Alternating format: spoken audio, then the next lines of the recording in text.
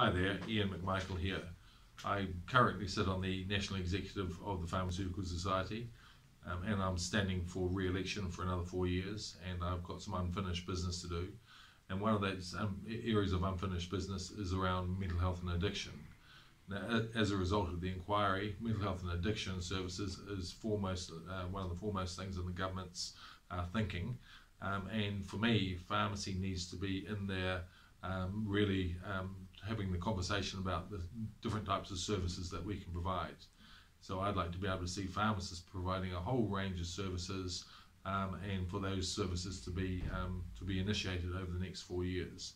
So the sorts of things I'd like to be able to see is things like point of care testing for clozapine patients, um, cardiovascular risk assessment for uh, people on atypicals, um, even things like ECG. So ECGs being able to done to be done from community pharmacists, uh, from by community pharmacists and in community pharmacies, um, and I'd also love to see methadone prescribing being done by community pharmacists um, out of the out of community pharmacy.